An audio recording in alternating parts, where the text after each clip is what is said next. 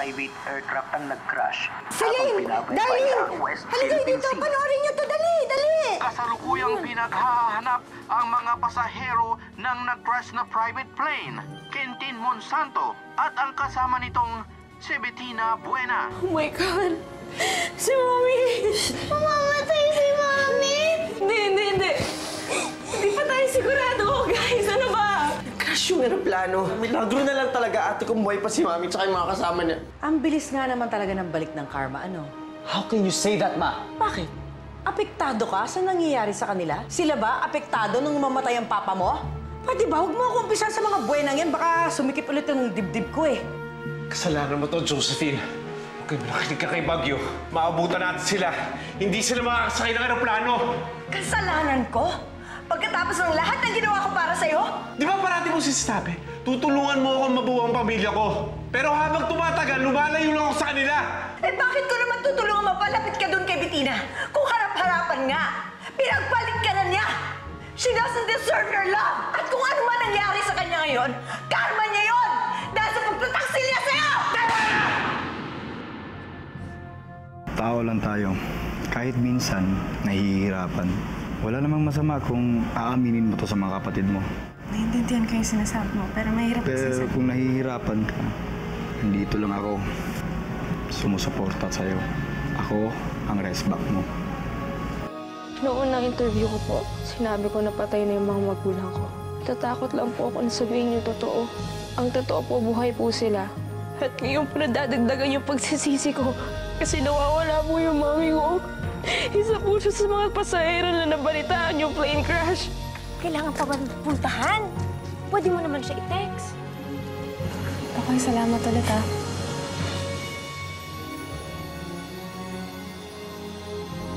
Harry?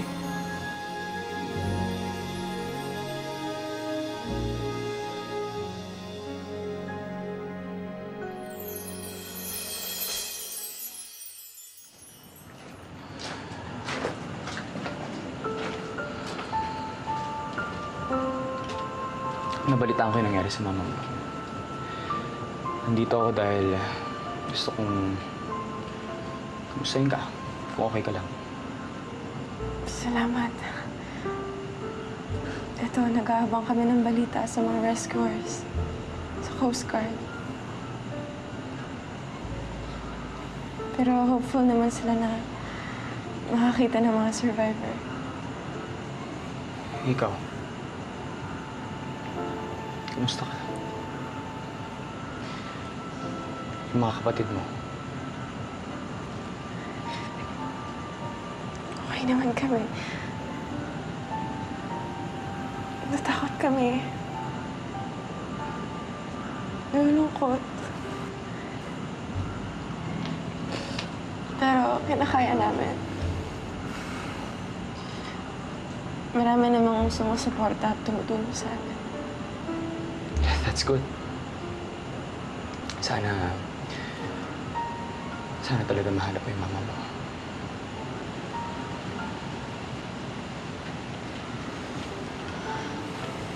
Narinig mo naman, okay naman daw siya. So, let's go. Mas kailangan ka ng mommy mo.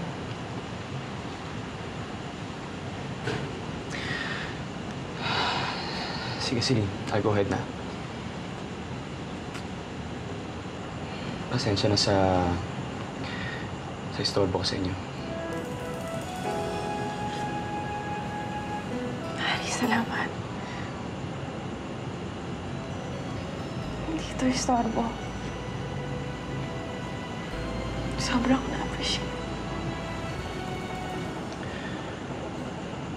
Sige, pare. Ingatan mo si Celine, ha? Wala kang dapat ipag-alala, pre.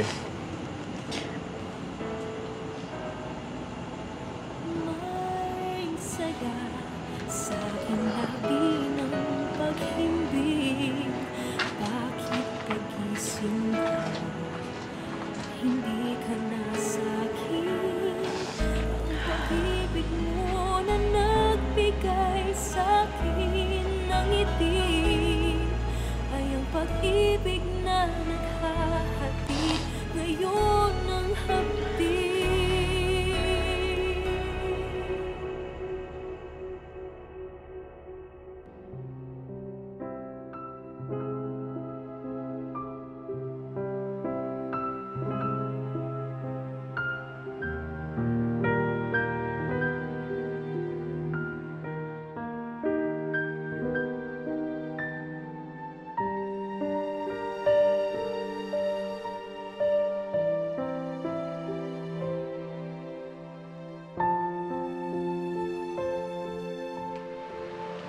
Harry.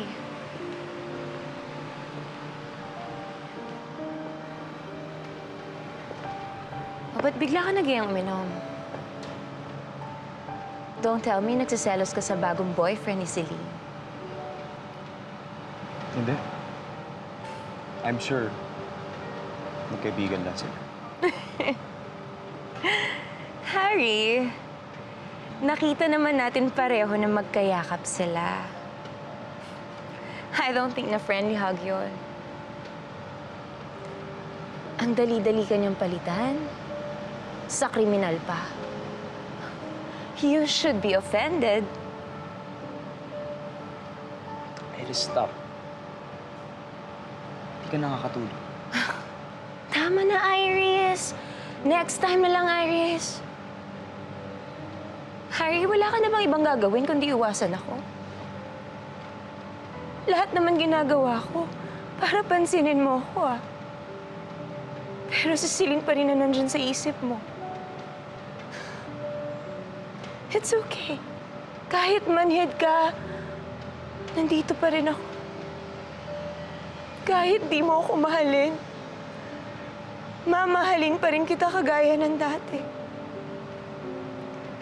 At gagawin ko lahat para mapasaya ka.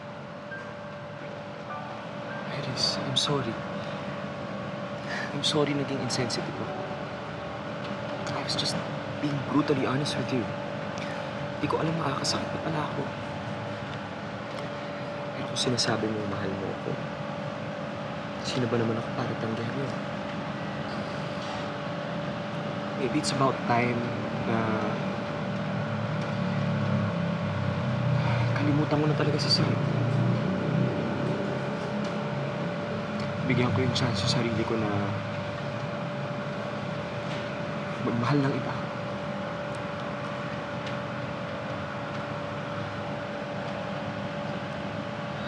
Iris, hindi man kita mahal ngayon. Susubukan kitang mahalin. Harry, thank you. Thank you for giving me another chance. Don't worry, tutulungan kita makaget over. I love you so much.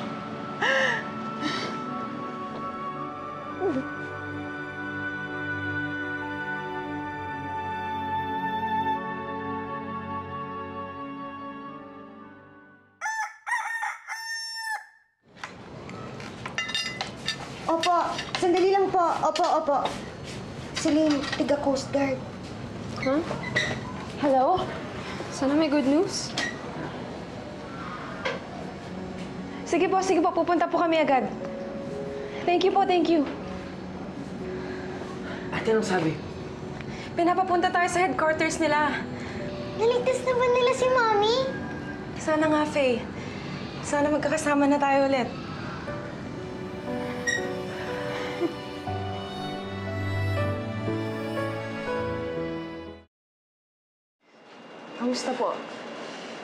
Nakakita niyo na po ba ang mami namin? Sabihin niyo na po. Natagpuan ng mga divers namin ang bangkay ng piloto.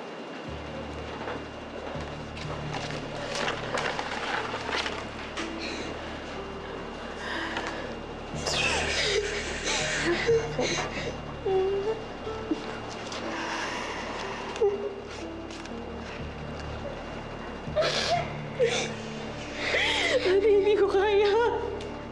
Nasunog at sumabog ang aircraft bago bumaksak ito sa dagat. Kinalulungkot ko, wala pong naligtas.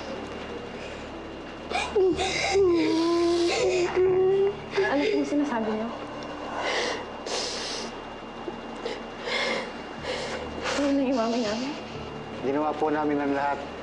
Nakikiramay po kami sa buong pamilya. Wala na si Mommy. Hindi, hindi, hindi ito pwede. Ay, ayusin niyo naman, oh. Hindi, ito pwede. Kuya, sigurado po ba kayo? Baka naman po may, may iba po. May pang hinahanap na rescue team. Baka naman po naka,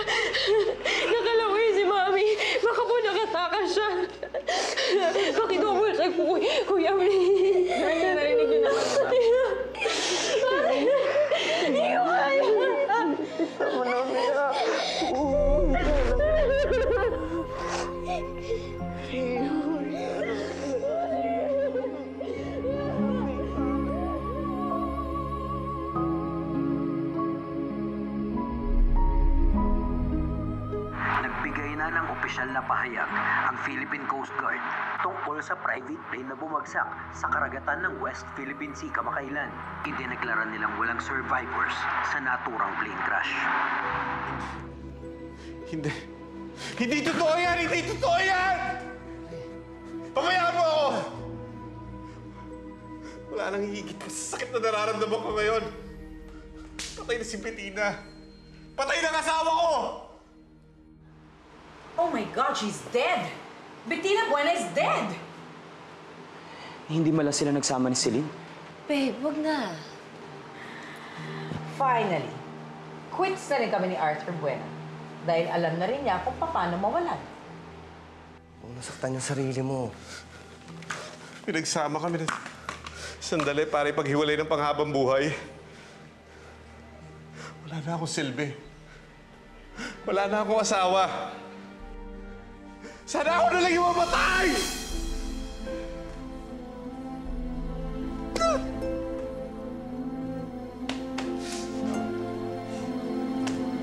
Wala.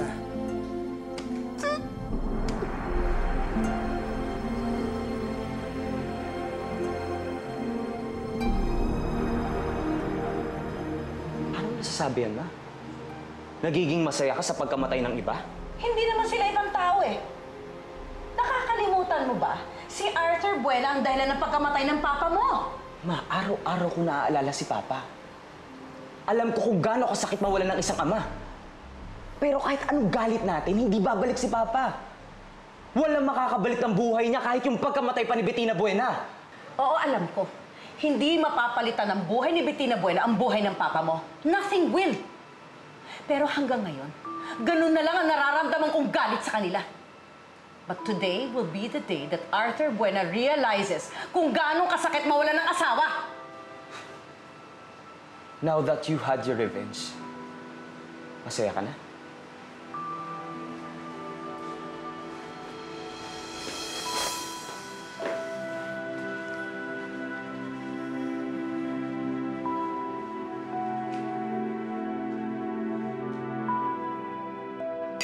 Let's celebrate.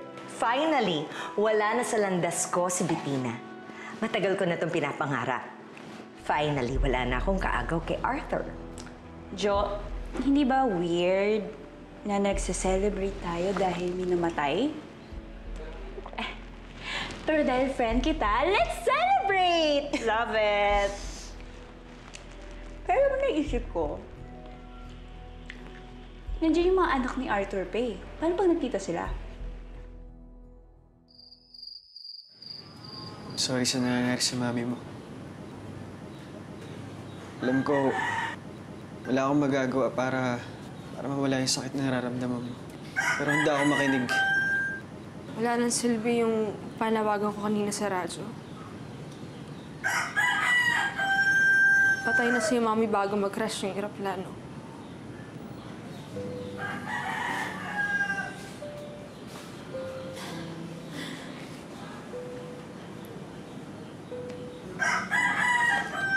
Tanggapin. Ang dami kong gusto sabihin sa kanya.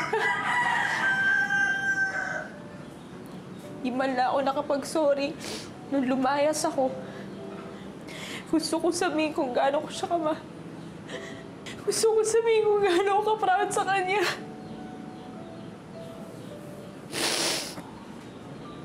Kung paano, kapag kumakanta ako, naalala ko siya palagi. Pero ngayon, huli na yung lahat eh. Wala na akong magagawa. As if papayagan kong mangyari yun, ano? Ganito. Ako na lang ang nakitirang babae ngayon sa buhay ni Arthur. Gagawa na lang kami ng bagong pamilya. Ang bagong Buena Familia. Ikaw na yan. Wala na si Mami. Alam mo, Kevin, wala akong kwenta eh. Wala akong kwentang anak. Darling, huwag sabihin yan. Sabihin yan.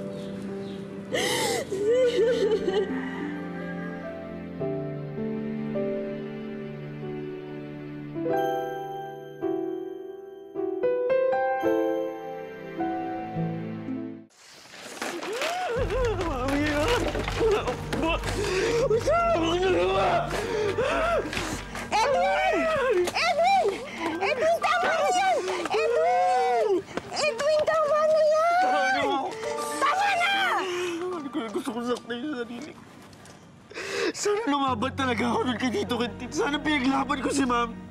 Gloria, ako po yung lalaki. Ako yung lalaki sa pamilya. Dapat ako yung nagpaprotekta kay Mami. Pero wala akong nagawa. Wala akong nagawa! Edwin! Tama na! Tama na!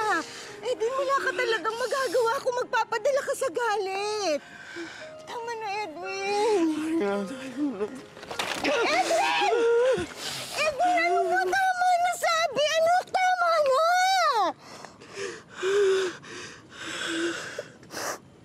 Mahal na Gloria. Ang sakit-sakit. Ang sakit-sakit. Kasi naduwag ako nun. Naduwag ako nung nagka-problema. Umalis na lang ako nang hindi lumalaban. Tapos nag-drugs ako. Drugs ako para matahasan yung sakit. Hindi ko man lang binalikan to yung mami. Wala man... Wala man lang ako nagawa. Wala man ako nagawa para sa kanya. Para man lang maging proud siya sa akin bago siya nawala. Edwin. Edwin. Alam ko. Alam ko mahirap mawalan ng isang ina. Pero kailangan magpakatatag ka. Kung ano man yung pagkukulang mo noon, bawiin mo ngayon. Kailangan ka pa ng mga kapatid mong babae. Sila na lang ang nandiyan kung magagawa mong alagaan sila, sigurado ako, magiging proud ang mami mo sa'yo. Kung nasa saan man siya ngayon. Ha? Ha?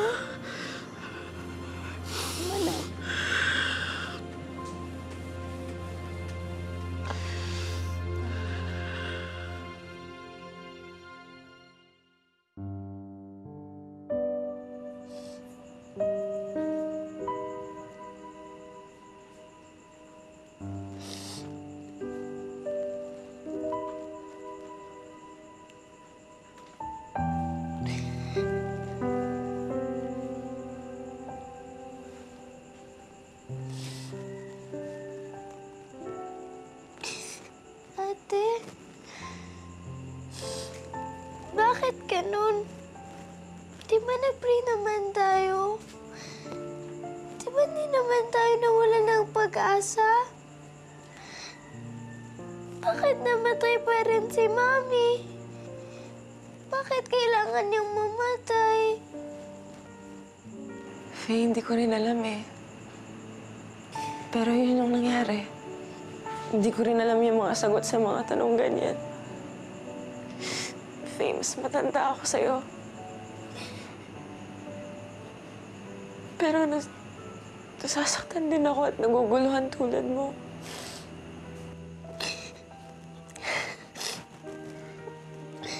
Ate, namimiss ko na si Mami. Di man ako nakapagpabay sa kanya. Hindi ko man lang siya nakis. Tapos, hindi ko na siya makikita kahit kailan. Hindi ko na siya makakasama forever. Kahit naman nasa heaven na si Mami. Kung buhay pa rin siya sa puso at isipan natin, parang kasama na rin natin siya. Tsaka kahit ano nangyari, mami pa rin natin siya. At hindi-hindi natin siya makakalimutan.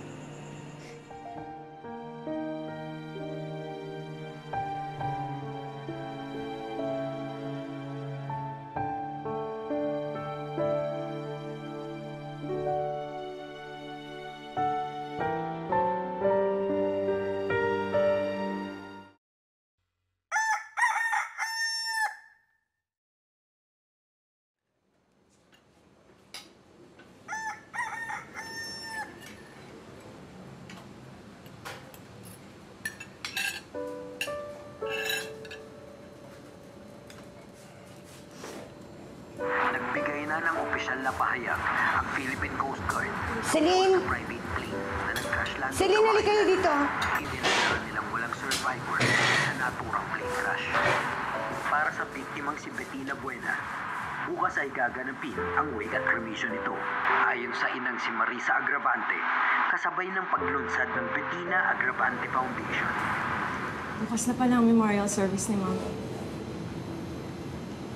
Hindi man lang tayo sinabihan. Ate, gusto kong pumunta. Kailangan natin puntahan si Mami. Pero, ano yun? Eh, di ba galit sa atin si Lola? Siguro naman ngayong patay na si Mami, maintindihan niya yan.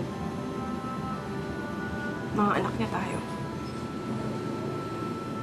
May karapatan tayong pumunta.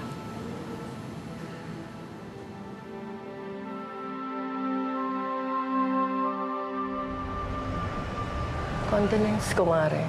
Salamat.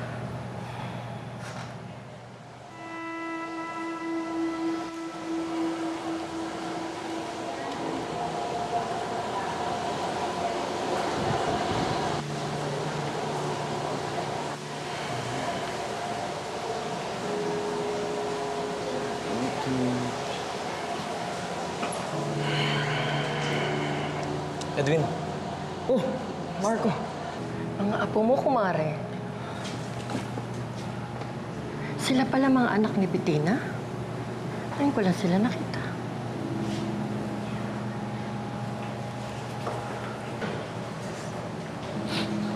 Yan, lang nag-uusap tayo para hindi na...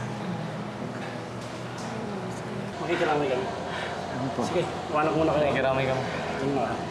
Pare, buti. Nakapunta kayo. Tagal na rin natin hindi nagkikita. Alam mo, parang nanay ko na rin si Tita Bettina. Tsaka naging mabait siya sa amin simula ng mga bata pa tayo. Hanggang lumipat nga kayo ng bahay. Nga pala, saan kayo nakatira ngayon? Di ka ba babalik ng school? Ah, baka hindi mo na siguro ngayon. Medyo hindi pa kasi okay yung sitwasyon eh. Pero kung nagawa na ng paraan, babalik din ako kaagad.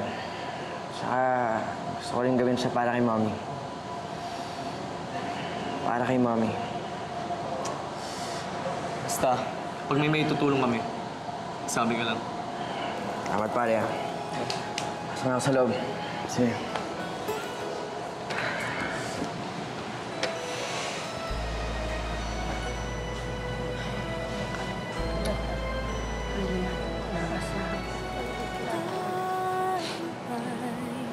Masaya pagsama-sama Hawak kamay tayo Selena, I just wanna thank you for saving Faye's life. Would do anything for her. And I wanna say sorry. Mami, ilang beses na natin na pag-usapan to. At nakapag-desisyon na ako. Ikaw ang kamukha ko. Kaya sinasabi niya, ikaw ang maganda. Okay, parang ka na. Nagtago na wala ang ibig Pagising kay dilim Maging kayo'y naglaho rin Nasaan na Di ba nangako ako sa'yo na hindi na ako iinom ng gamot? Secret lang natin to, ha? Yes po, Mommy. I love you, Mommy. I love you, anak. Bakit ba naglaho? Hindi titigil Hindi susuko 18 ka na ngayon, and now you are God bless you always,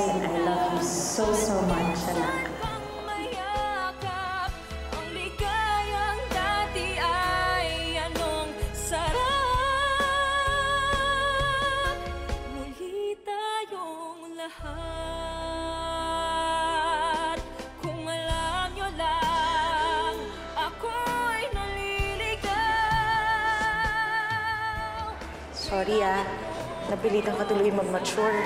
Actually, nagsasawa naman akong gawin yung mga ginagawa ko noon eh. Oh, yung anak ko, binata na talaga. Mami, ano ba yan? Baka makakita sila, oh. Tinatawanan nila tayo. Mama na, baby ko kasi to. Only boy ko to. Kaya ganito. Ingit ka.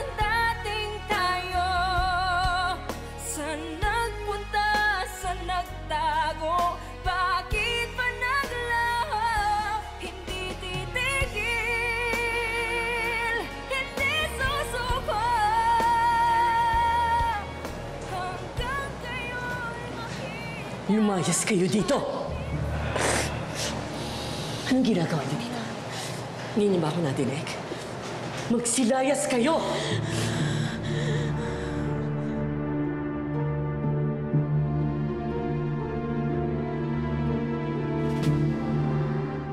Umalis na kayo dito. Nakakahiya. Pinagtitingilan tayo dito. Hindi po kami aalis dito. Kasi mami namin siya. Naghahanap ka ng eskandalo? Ha? Kayo po ang gumagawa ng iskandalo eh. Memorial po to ng mami namin. Bakit po ba kayo galit na galit? Talagang galit ako sa'yo. Kinamumuhian ko kayo. Harap ka sa akin. Kinamumuhian ko kayo. Kayo ang dahilan kung bakit namatay si Bettina. Kung hindi kayo nakigulo kay Quintin, hindi niya itatakas si Bettina. Napahamak si Bettina ng kahahanap sa inyo. Kung kinalimutan niya kayo, sana buhay pa siya ngayon. Hindi. Kayo ni Quintin ang pumatay kay mami. Ay, nagpumilit. Nailayo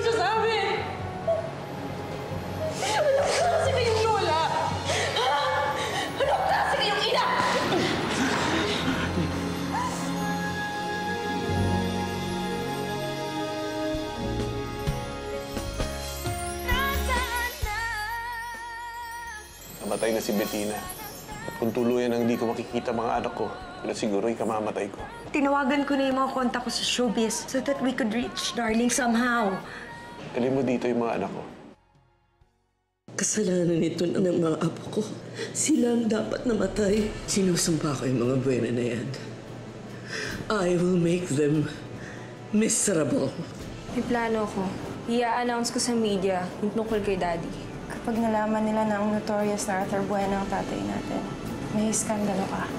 Posibleng madiskaril yung karir mo. Sayang naman yung simulan mo, masisira na lang. Ngayon alam ko na na mas importante si Daddy kesa sa sasabihin ng publiko. Tawagan ko yung mga press na kakilala ko. Ah, itigil yan!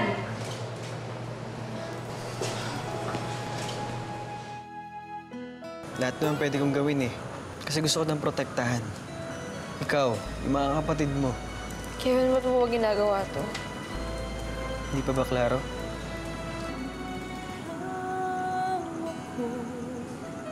I'm in love with you. Galing mahal kita.